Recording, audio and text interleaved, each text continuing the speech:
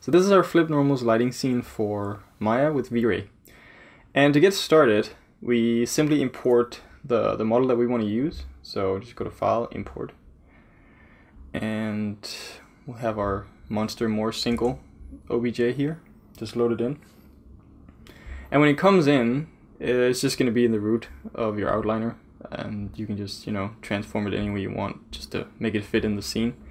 And then after that, you want to move it into your uh, underneath character groups. There's a character mask group. And this mask group just makes it possible for you to render out a mask for the character itself, model or whatever you have, um, just to make it easier to do post work on it.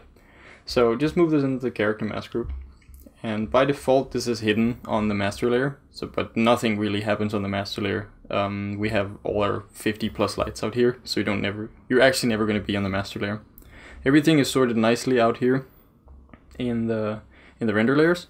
So let's go to render layer 1, for example. You can see the creature is now in here, and because it's underneath the character group, uh, it, it automatically has some rotation applied to it with like there's some keyframe animation, just so you don't need to manually go and rotate if you wanted to render out a turntable or something like that. Just a really handy feature. Um, yeah, but let's just take one of these light scenes and just take you through how you would set it up. So everything is, I mean, it's basically already done. All you need to do now is apply a material. And there are two ways of doing this. The first way is if you go under display in your outliner and you uh, disable DAG objects only, you'll get a list here of all the materials that are in the scene. And we've made a bunch of different materials, not just the materials that are assigned uh, to the render render layers. Uh, there's 30 plus materials for, you know, you can make a variation of, of renders so you have some, some gray ones, some black ones, some whatever you want to apply to it. So we have a bunch of SSS materials and these just adds a little bit of, of flair to your render. So the way it's set up in here is that we find our render layer, which is number three, and then we find the corresponding um, material to that, and then we just apply it to the to the to the model. So let's just take this and we just drag and drop, and you see it's just applied instantly. This doesn't really work for something with multiple objects in it. Uh, the easiest way to do that there is to go into your Hypershade and then you'll have an overview of the materials in there as well. This nice little list here is not active by default. By default, your layout will look something like this. And it's, it's a little hard to get an overview of what's actually going on. So if you just press the list icon and make the swatches extra large, then you get a nice list with the names and you know it's easier to sort of navigate around very helpful yeah and you just click around to see okay i like something like that or something like that a really cool feature inside of 2016 is that you can actually change the render from hardware to say something like v-ray and then it'll actually show you oh okay this is what my sss material actually looks like when it's rendered um, we're not going to use that for this but it's it's a really really handy feature we uh, we also have um, for each each light setup we also have like a couple of lights, three four lights, and those are just the basis. This is that's a starting point. You can modify those as you see fit. This is not the definite product. This is not a locked down smile scene. Feel free to modify this as much as you want to. Yeah, anything is customizable. So if you just go under the lights group, uh, you're gonna find all the lights for all the render layers in here. So let's check. Yeah, we, we're rendering out three right now. So we just check out the the backlight, you know, adjust it any way you want. Let's say, oh, I want this brighter, I want it darker. And yeah. it's just gonna, it's just as easy as that. So let's just do a quick test render of exactly what we have set up now. And let's say, okay, we want this guy there and render him. Perfect. Alright, so this has been rendered. Right now it's rendering without uh, GI. This is just to, to speed up the rendering process really. Um, but this is enabled by default when you get the scene. So if we just take a look at the render settings, let's just start from the beginning here. Uh, it's all standard V-Ray, so you just go in here, you change your resolution to, let's say, you know, you want um, something nicer than this, so you have twice the resolution of that. Um, you go into V-Ray, and this is really where if you are if you're gonna make any adjustments to the scene, like right now everything is set up with sort of a production preset. so low noise, but it still renders kind of quickly. But if you want to do more preview renders, uh, what I would recommend is that you go in and you lower your subdivs and your threshold to something like one and three, four, or something like that. And if that's still not fast enough for you, you can up the threshold to something higher than 0.01, and then it's going to render faster, but there's going to be a lot more noise. And under yeah under GI, this was just what what was disabled before. This is just to make it render faster.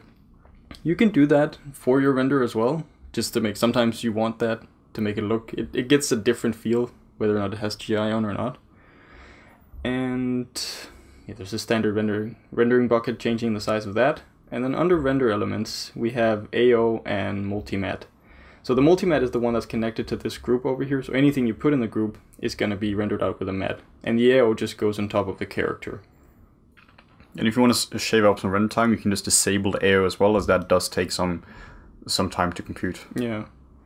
So like if we take a look at um, our frame buffer here, you can see we have the, the multimatte and the AO pass in here as well. Very nice. So, uh, in terms of the camera, we have a couple different cameras in here. These are just for convenience. They do pretty much the same thing. It's a close-up camera, a cropped camera, and then just the standard camera. Uh, this is just a difference in zoom levels. So, I mean, you can modify like everything else in the scene. You can modify it any way you really want. Make it closer, rotate it around. It doesn't doesn't really. It's not locked in anyway.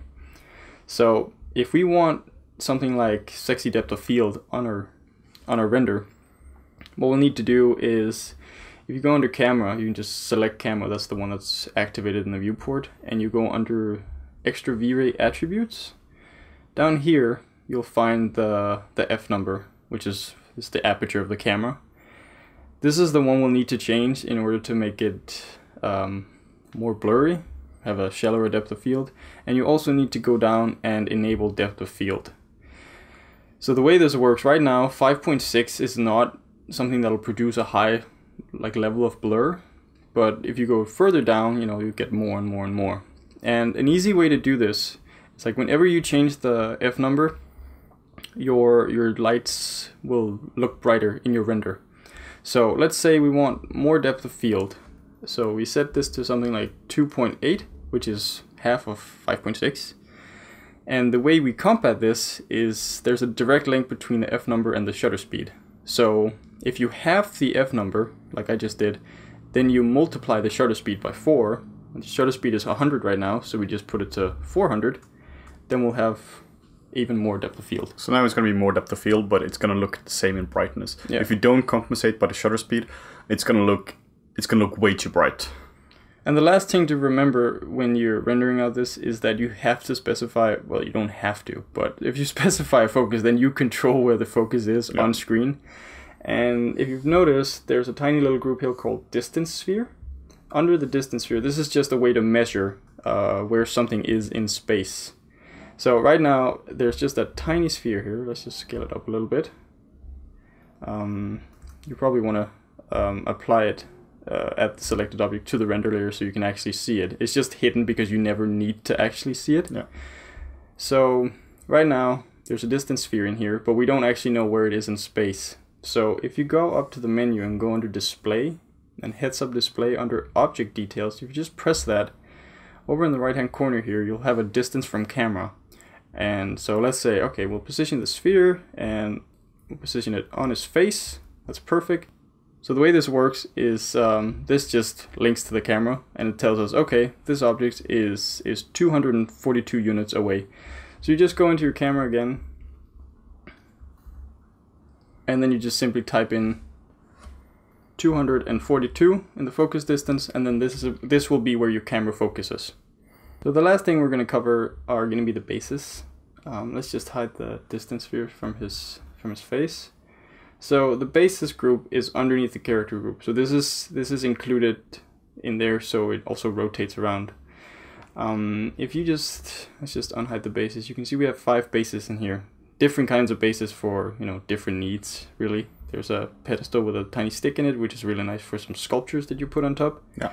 Or if you want to present your you know your final model, then you could use something like this super sexy rectangular base. And there are a couple different base materials that we've made specifically for the bases, but you can use any of the materials that you really want. Um, it's really up to you. We recommend some kind of um, clay material or marble material for that. Yeah. It can look really, really nice. So with all that said, let's just uh, let's say okay, we don't really feel like uh, base is is great for him right now. Um, we can go ahead and do like a final render of this. So let's take uh, let's check out a, a new render scene. Let's take let's take eleven because um, I like this one. So we just have our character in here again, and just simply drag the material out. Now he he's nice and pink. So I think this fits his character really well. So funky. It's ready So- for a party. So let's just adjust him a little bit in the viewport, make him a little more menacing, a little bigger. Okay, we want a really nice side profile of him. There we go. And everything is enabled like it should be. We've got GI on. Settings are, well, the settings are a little low. So let's just up these settings again. And now we're actually ready to render. So just hit render and sit back.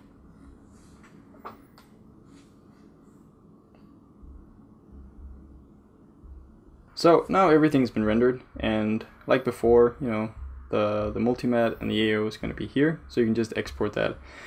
Everything right now has been set up linearly, so this is more production environment oriented, and um, so everything is a linear image here. So the way you just save this out would be you go under Save Current Channel, and then go down to Save All the Channels instead, and then you just select OpenEXR, and you just save your file uh, name it whatever you want and save it out. This saves out all the passes now and they're now ready to be um, pulled in to Photoshop.